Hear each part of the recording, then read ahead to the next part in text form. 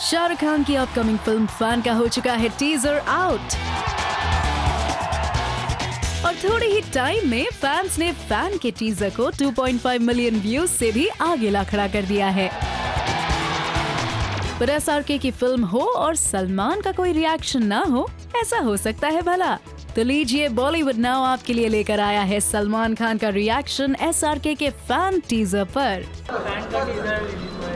इसका नहीं अभी जाके देखूँगा फ़ैन का टीजर लेकिन आ, देखने से पहले ये कहता हूँ कि it's not to be super hmm अब जब फिर से बन गए हैं ये दोनों दोस्त तो हर जगह करने लगे हैं एक दूसरे की बड़ाई।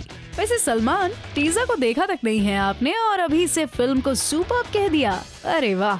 So what do you think? Is Salman really serious with his praises या ये सिर्फ एक give and take relationship है? As Shahrukh was the first to launch Bajrangi Bhaijan's poster on Twitter.